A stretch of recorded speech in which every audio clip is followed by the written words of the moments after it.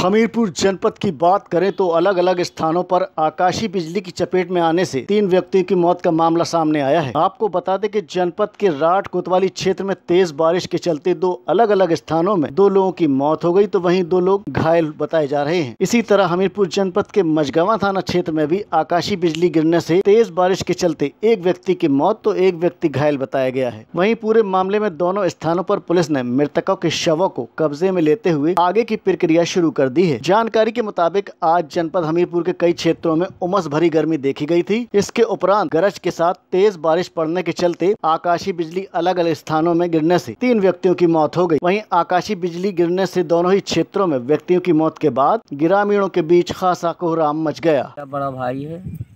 ये बकरी चराने आया था। दिन में दो ढाई बजे के लगभग। और बादल गरजा। वर्षा नहीं हो रही थी। एक ही बाद बारिश हुई और गाजर के ऊपर गिर पड़ी और वहीं ख़त्म हो गई क्या समस्या है दादा? ये काशी प्रसाद नाम है इनका कुशवाहा हैं पिछड़ी जात के साथ।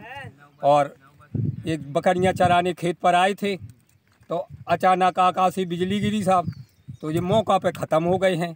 और इनकी तीन नातने हैं एक है ग्यारह वर्ष की एक सात के लगभग एक है ढाई तीन साल की। और ना न जो इनकी नातने हैं उनके पिताजी यानी इनके पुत्र पहले ही ख़त्म हो गए थे। नातनन इनके माता हैं सुबह चली गई किसी दूसरी जगह पर। इनके खाने पीने का इंतज़ाम केवल एक काश, काशी प्रसाद हैं जो ये अभी मौका पर ख़त्म हो गए हैं। यही उनको इंतज़ाम करते। अब ये मर गए हैं। आकाशी बिजली से साहब। तो अब ऐसा है कि बच्ची बिल्कुल अनाथ हो गई हैं। इसे हम सब गाँव वालन की तरफ़ से हाथ जोड़ के निवेदन है। हमारे राजस्व विभाग के सभी कर्मचारियों से निवेदन है कि बच्चियों की अधिक से अधिक इमदाद देने की कृपा करें ताकि ये पल सकें। बस अब इतना ही है। क्या नाम है दादा? हमारा श्यामलाल नाम है। क्या समस्या है? भाई ये बकरी चराते तो यहाँ आन के इनने बकरी चराई और दोपहर के बाद बादल तड़का बिजली गिरी। ये मौका पे ख़त्म हो गए हैं।